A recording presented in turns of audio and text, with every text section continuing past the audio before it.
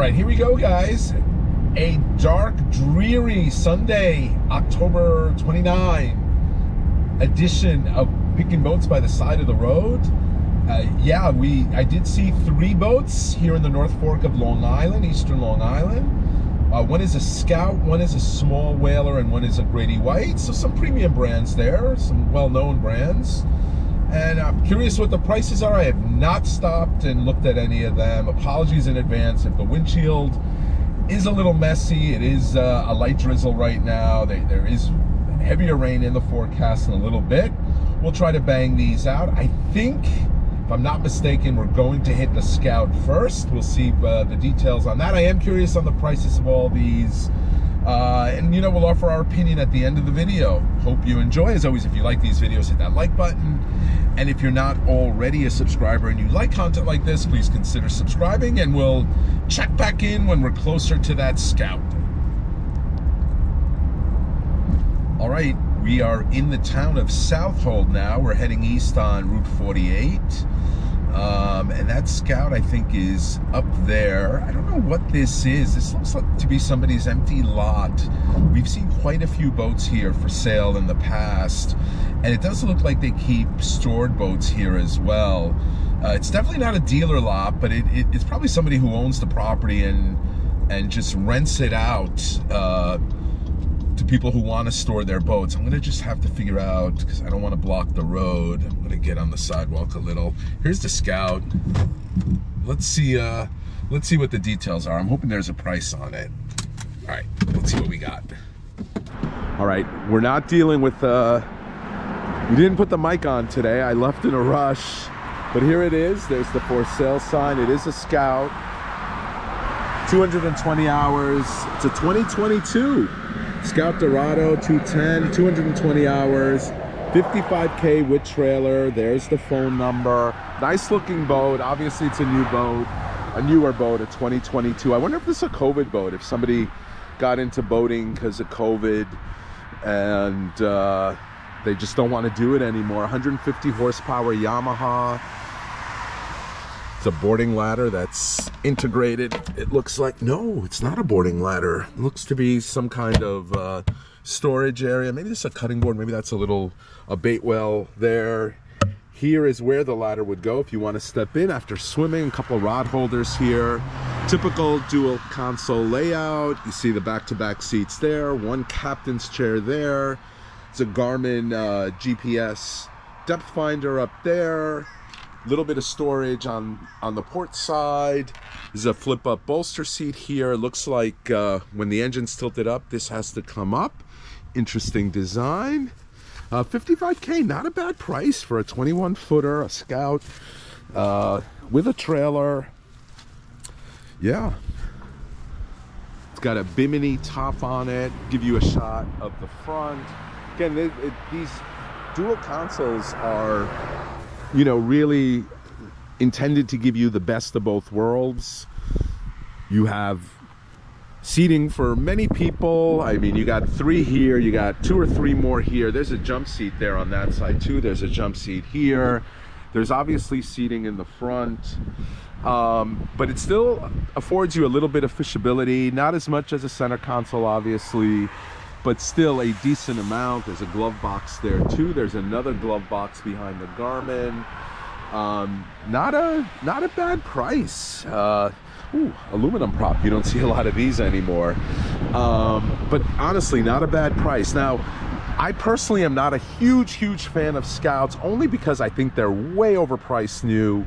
Uh, they they really put a lot of bells and whistles on the boat, kind of like Everglades, but I think Everglades is a better built boat. Um, and for what they charge, especially for their larger models, this is again just my humble opinion. Don't get offended, Scout owners. Um, another one of these little uh, storage areas or bait boxes here. Don't get offended, Scout owners. That's just my opinion. Um, but 55K for a one-year-old boat, 220 hours, very reliable power on it, trailer included. Trailer's in great shape. Um, it's an EZ Loader trailer, but it's a bunk style trailer, not a, a roller trailer. It's actually a big trailer. You can see that the uh, the bunks in the back extend uh, past the boat. Um, not a bad little deal. Gonna be hard to beat this one out of these three boats. Again, having no idea what the other two cost.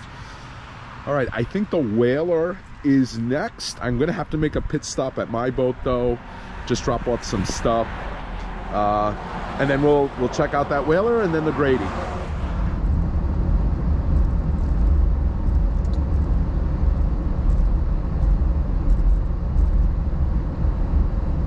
All right, it's uh, it's a few minutes after we saw that scout, and I'm in the town of Cutchogue now. Now we're heading west on Route 25. You see, it's the rain is coming down a, a, a hair more than it was before, and I believe that whaler is somewhere in front of us. So let's see, I think it's gonna be just past the next stoplight we hit. I have this, uh, this Honda in front of me that for some godforsaken reason just keeps hitting his brake lights. So now he's gonna have to hit him because we lost the light. But uh, he's one of those annoying drivers that likes to hit the brake light even when there's nobody in front of him, which I, you know, don't understand. But I think the boat is uh, just in front of us. This light takes a while, it's a three-way light. We'll check back in when, when we're right in front of it.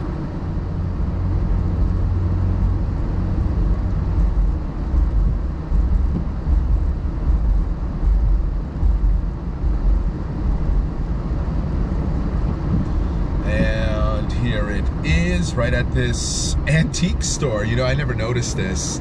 What's crazy is it looks like an older small whaler, 13 just kind of fitting that it's in front of an antique store. Uh, let's see what we got.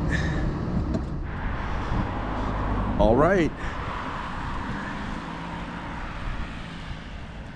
Oh boy, 12,900. No price, uh, no year on it. There's the number. Might be a 15. You guys who know whalers better. I'm bad at this. I'm, I'm gonna stick to a 13. Uh, I think the 15's a little bigger. You can see it's it's got a anchor locker storage in the front, wooden seat right in front of the driving position. Uh, could be refinished. There's the bench seat for the driving. Uh, 70 horsepower Yamaha on the back. Let's see if we can get a year off the hin. Um, this is access to the gas tank, the bilge pump, the battery. It's a nice setup here. I like this. This cover that extends down, protects your battery. Um, yeah, this this would be a little runabout boat in the bay. Let's see, can we tell off the hin the year? Oh God, the rub rail is blocking it. Boston Whaler Inc. It looks like 80 something. That looks like an 8, maybe 83. Hard to tell. It's right up there to the right. Uh, I'm gonna stick with early 80s on this. It, it looks vintage to that. Uh, little single axle trailer. I don't know about this price. Uh, I would definitely take that Scout over this. Um, last registered in 22 in Maine. Interesting, interesting. Well, maybe there's a New York sticker on it somewhere too. There is no New York sticker on it. Um, although it is registered in New York. Let me check the other side. It should scoot with a 70. Um, I'm sure this weighs nothing. No, it's got New York numbers, but a Maine registration. Uh, maybe you don't need to display your numbers in Maine. Maybe this is an older number. But there you go, almost 13 grand for what I presume is a 13 foot whaler. Again, guys, keep me honest, those of you that are whaler experts. Uh, let me know what you think about the price. Uh, for all I know, right, we didn't call. This could have been fully restored, uh, the, the foam redone. Um, but certainly the wood here could use a refinish if you wanted to make it look nice and put some varnish on it, make it look like teak. Uh, yeah, not too crazy about this one. Let's go. Let's go find that uh, that Grady White before this rain starts getting any heavier. All right, and now in the town of Jamesport, and here is that Grady White that I was talking about. This is gonna be the last boat. Ooh, I didn't notice this inboard outboard. Ah, what is it with the North Fork and inboard outboards? All right, let, let's see what we got on this. All right, it actually looks like it's in decent shape. And it's hard to beat this price. 3500 caller text. There's the number 631 678 2200. It's a 227 Seafarer. So, oh boy. Look at that. It's going to be hard to pick up, but a 747 flying very low over us. You don't see many of them. Of course, the one day I forget my mic. Um, well, there's a trim piece missing here. Let's see if we can get a year on it. Where's the HIN? Don't see a HIN. Transom seems solid. It's a clean boat. I would guess mid to late 80s, perhaps early 90s. Big trim tabs on it. Uh, there's the one thing I don't like about this an inboard outboard. A lot of people say they're easier to work on. Still looking for a HIN. Am I, you know, oftentimes I see it when I'm editing the video. Don't see it anywhere though. Oh, I wonder why. I wonder maybe the transom was redone. I don't know. You know what? It could be behind the for sale sign. Well, you'll have to call or text to get the number. But yeah, this is a traditional walk around. They made the the Weekender, which was the 20 foot version of this. The Seafarer was the 22 foot version of this. A little bit of gel coat cracking here, nothing to be concerned about. The hull actually looks in really good shape. Not a big fan of these plastic uh, through hull fittings. Easily changed out to brass or just keep them. You know, typical scratches for, for this vintage. Big swim platform back here, that's nice. Um, see the cushions here Trailer looks like it's seen better days. Fenders are missing. Looks like the tires have a decent amount of tread on them, but uh, you know, uh, it's a roller trailer. I think that with inboard outboards is like a, a, a North Fork custom. I, I, I will say though, this price is hard to beat. Hard to beat. Um, let's step inside and take a look. Yeah, you can see there's a couple of a uh, couple Garmin units up there. I'm not sure how that's going to show up. Um, there's the engine cover, some rod holders here. I presume there's a 350 Mercruiser or some variation of a 350 down there. Love these little fish or storage boxes behind the seats. I presume this piece, this cushion piece, goes right back there, fits over that, so you have more seating. Um, there are muffs there. Maybe somebody did run the engine. I mean, if this engine is running and you want to get on the water cheap, you know, you, you put some money into this.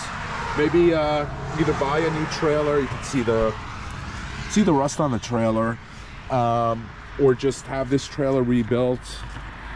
Maybe pick some of these uh, some of these end pieces these trim pieces that are missing. It's, it's hard and this this is what should be here on the other side.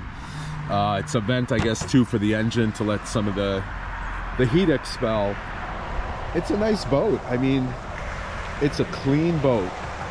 3500 bucks you guys let me know what you think in the comments there's a bimini top too it gives you some shade it'll come right over the, the forward seating area not a bad deal guys all right, we made it before the rain. Let's jump back in the in the Honda and I'll offer you my thoughts.